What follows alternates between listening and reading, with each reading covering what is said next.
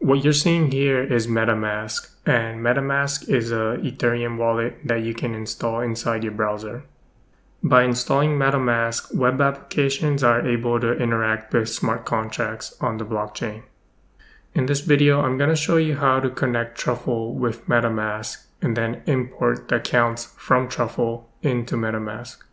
The first thing that you will need to do is run a local blockchain using Truffle so open your terminal and type truffle develop.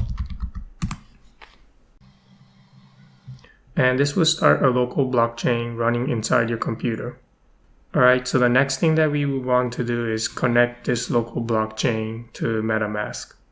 So inside the Truffle console, if you scroll up, you can see here that the blockchain is running at localhost port 9545. So we're going to copy this address and back inside MetaMask, select the network and then select custom RPC. This will open up a form where we can tell MetaMask which URL our blockchain is running. So for the network name, I'll just name it dev. And for the URL, we'll paste the URL that we copied over from Truffle console. And that's all you need. So hit save. And that is all you need to do to connect MetaMask with the local blockchain running using Truffle. Let's just quickly go over what we did. So inside our terminal, we typed in truffle develop and then copy the URL where the local blockchain is running on. Back in MetaMask, we selected custom URL, which opened up the form.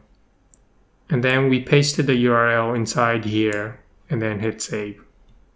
And now we can switch between networks. So for example, we could select the Ropsten test network and we can also select the dev network that we just created. Next, let's go over how to import these accounts into MetaMask. To import an account, the first thing that we need to do is scroll down in the Truffle console. And here you'll see some private keys.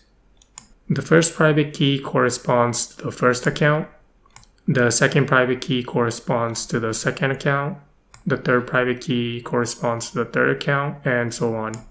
I'm going to show you how to import the first account. So I'm going to copy this private key. Back in MetaMask, go over to the top right and then click import account. And inside here, we'll paste our private key and then hit import. And that's all you have to do to import the account provided by Truffle into MetaMask. Note that this account has 100 Ether only inside your local blockchain. And to show you this, if you switch over to account to a testnet, you can see here on the left that this same exact account no longer has 100 Ether. You'll also notice here that it has 1.95 Ethers. And this is because I deposited some Ether into this account. I'll show you in another video how you can get some Ether for your account on the Ropsten network. That completes the setups needed to start building a web application.